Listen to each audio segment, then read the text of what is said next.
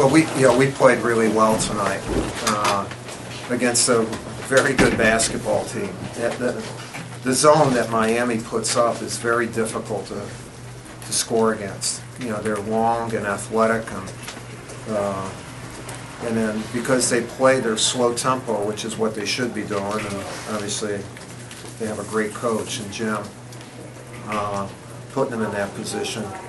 Yeah, Long possessions, so, you know, our depth helped keep up a good level of intensity on defense. Um, Otherwise, they wear you out. And then if you don't hit shots, um, you know, again, they've been, yeah, you know, I don't know if this is the first double-figure loss they've had. And, uh, but I mean, they're right there against Syracuse, and the game against Virginia Tech happened like a year ago, you know. I mean, they're a different team now. But uh, I think they can beat anybody in our league. And uh, so, you know, very pleased with our effort. You know, Jabari was a beast on the boards tonight. He and Amile were terrific. For, and I think that the one stat that really stands out for me is our, our rebounding. You know, for us to out rebound them like that was uh, was a key factor in us winning the ball game. So, any questions that you all might have? The last game you said attacking was kind of a main focus for Jabari. It was rebounding, something you guys gave him. Yeah, you know, uh, he, uh, I just think you're going to keep seeing like more things from him. You know, I, uh, you know these, it just so much is expected of him, and but he's not trained yet to do all these things, or doesn't have the experience. So, you know, today I, I, I don't know. We we knew that in their zone there's a chance for offensive rebounds, and because they don't fast break, you could go to the boards more. And uh, but it's his defensive rebounding that was, I mean, yeah, he and Amile had ten offensive boards. You know. I will say this: Marshall had two possessions in the second half. We had a block and a defensive rebound where you know, the game got chaotic with an intentional foul or we couldn't score for a while, and we needed some stops. And Marshall gave us two stops, and um, those were big, big plays. But uh, you know, Jabari again, that's two really outstanding performances in a row. Because Amile is so good on the boards, does that help challenge Jabari to become a better No, I don't, I don't, I don't think they're in that. They, uh, I do think that when you see a guy like Amile's playing really well and having success there, that sometimes you feed off of that. And the other thing is maybe they're trying to block Amile off, and now that opens it up for, for Jabari. But I don't know. Whatever's happened, I hope it continues to happen. substituting on 05 with, at the first stop and then keeping the pressure, the full court pressure, was that to kind of get the tempo going or to wear them down? Well, it's, you know, both. Uh, both, or to get them into their bench. And, because they're, I mean, they would like to play a half-court game, and so you can rest bringing the ball up, and you can rest on offense for 20 seconds and then run offense. And we were trying to let them not rest. But uh, the last three games, we've subbed like that. And that's not like we're going to do all the time or, you know, throughout a ball game. But we're, you know, we're subbing more because we're trying to pick up full court. We're going to get tired. We get tired.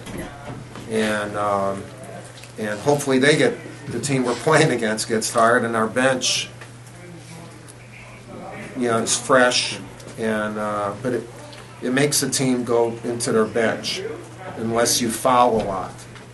And then you give them a rest on, you know, when they're, when they're shooting free throws. I assume it meant a lot for your former USA guys to come to the game. Yeah, you know, I, I was, uh, Kobe was here and uh, LeBron, Dwyane. Uh, I didn't get a chance to talk to them. I- They, uh, I, I know they text and I knew they were going to be at the game. Uh, yeah, all three of those guys were on the on the court when we won in Beijing. Uh, those last eight minutes against Spain. Uh, you know, Dwyane hit some big ones and uh, four-point play by Kobe, and then uh, uh, and then in London, you know, Kobe and LeBron were on the court when we beat Spain for the gold medal. And it was good to see Shane and Ryan Kelly, and they had a few of the, uh, his teammates from the Lakers. Kendall Marshall was nice to see him here, and uh, so, no, that's, those are great guys, and I I appreciate them coming. LeBron was obviously excited to see you first, but it seemed like he was excited about uh, Jabari as well. Well, he, sh- you know, I- you know, when he, Jabari takes off like that in full court, uh, I'd like LeBron to show him how you don't lose the ball when you do that. Uh, But, uh, uh, one play where we were struggling and Jabari got that muscle, it was down to 15, they just, Kirk had just hit a three. And, you know, things can go, to- and Jabari had that ball in the middle, and he went right up and kind of manned it up there. And because Jabari was right there, so, not that I'm looking at LeBron, I'm not in a, like a LeBron watch or anything. But It was in eyesight, you could see him, Dwyane, you know, go nuts, and, because that's a big time, a big time play. Coach, what do you think it does for your, for your guys, and even any college guys, to look out there and see these pro guys watching them? Well, it- first of all, they should appreciate it. And you know what, though, those guys, like LeBron, Dwyane, Kobe, over the last eight years, uh, along with Durant and Paul and Carmelo and all those guys, they've really set a great example of how you should play the game and how you should love the game. And I think it's filtered through all aspects of U.S. basketball now. Yeah, their kids are better, they appreciate the game better uh, at all levels, and it starts with those guys. They, they've been great role models for them. Did you think at all about last year's game?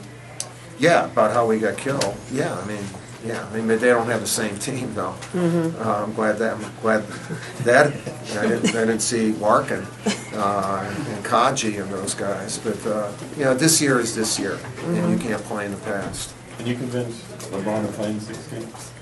In, Do you, do you think you'll be able to convince LeBron to play the next one? oh, he's got a long way to go. I mean, there are a lot of good players who, I'm not sure he, you know, in 16, Well, on the next one, he's on, he's gonna be on the list tomorrow. Yeah. Obviously, he's a, You know, Can you convince him I'm to sure? Paul George and Durant and those guys, uh, he's got a lot of growing up to do. I mean, that's, I had Kevin Durant on my XM show. It's going to be uh, aired next week, and you know, we talked about USA basketball, and when he was 18, he, you know, after his first year as a college freshman, he was out in, in uh, Las Vegas and almost made the team and it, it, he said it really helped him.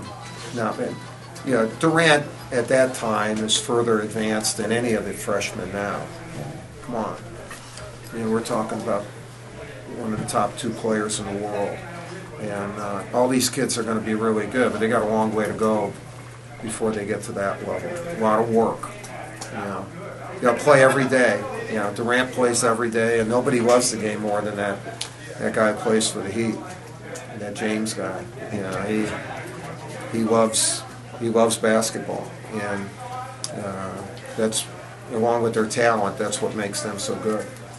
Coach, when you have a guy as skilled as Jabari, do you challenge him to dominate different phases of the game depending on the game? You know, he's a long way from dominating. You know, I mean, if you saw him two games ago, you wouldn't say he's dominating. He's he's in a he's in a process of getting better. You know, he played really well tonight, and he played really well in our last game. But you know, that that level of consistency is he's got to show that. Every player's got to be able to show that, and but the potential is there to be an outstanding player, and he was really good tonight. I mean, you know, 15, 17 and 15 is in a in a low possession game. He's even um, he's even better. Anything else? Okay, thank you. Thank you.